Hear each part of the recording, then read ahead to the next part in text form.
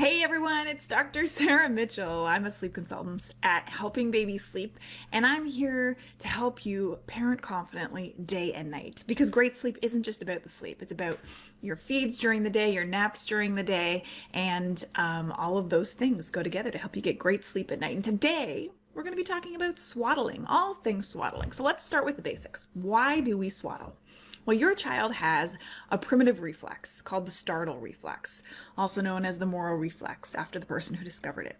And this, this reflex is based on our caveman brain. It's designed to protect your baby. If they hear a loud noise or experience a sudden jolt or movement, they will startle themselves, and often this leads to waking them, them up, right? What does this look like? Well, they may hear a loud noise and their back extends, their neck extends, their arms extend, and even their hands tend to ex extend. But what people don't notice is what follows next. This is followed by a recoil back to their body because you don't want to get this startle reflex confused with just lack of general arm control. And you may see when you, you know, un unswaddle them in the morning, their arms go straight up. That's not the startle reflex. That's just arm movements happening. So the true startle reflex, everything goes out and then it quickly comes back in and it's designed to protect them in our caveman world. It still exists.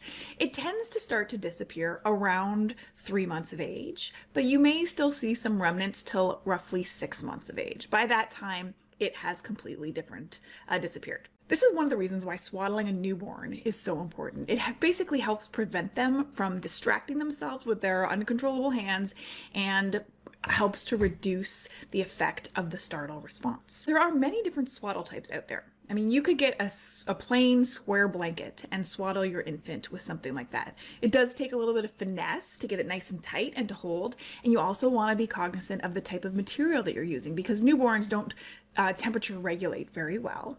And so you want it to always to be 100% cotton and not too hot. Okay.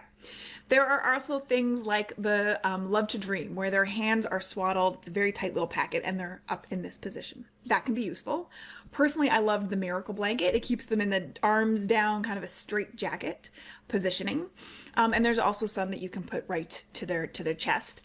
I often don't love those as much because I feel sometimes they can wiggle that hand out and distract themselves in the early months with that hand. But there are uh, a variety of options out there. You kind of have to figure out what works for your little person. Now, I often hear people say they don't like the swaddle. It just doesn't work for me. And that could be true.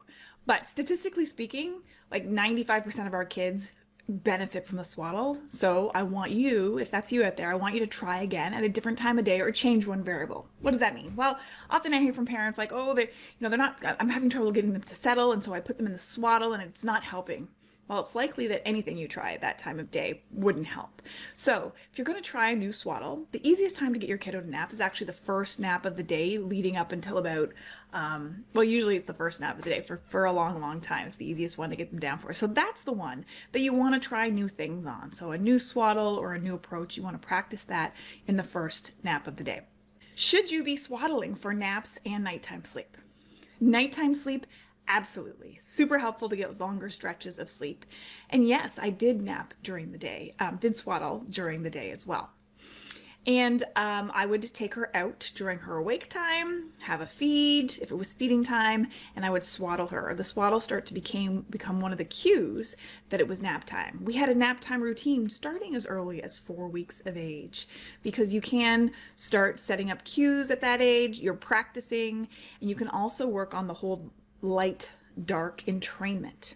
So there's studies to show that as early as one month of age, that's you know four weeks, that exposing them to light and darkness can help regulate their circadian rhythm. So it can help them distinguish between wake times and night times. In the night, when I pick them up, I might change the diaper, unswaddle, change the diaper, feed, swaddle back up. But on times that I didn't need to do a diaper change, I would keep little baby in the swaddle and feed her and gently burp her on my shoulder, not pat, pat, pat, pat. Um, if you're on Instagram, go check out my Instagram grid for my finesse over force uh, burping technique so that you don't wake her up and you get those little subtle burps out. But often with nighttime feeds, when they're very calm and relaxed, you often don't hear a burp. Um, and that's okay. So we talked about why we swaddle. We talked about some different swaddle types. Let's talk about when is it time to stop swaddling, right?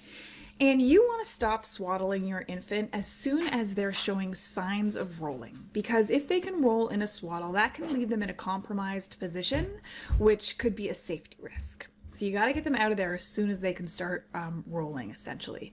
There are some great transitional products to help you with that.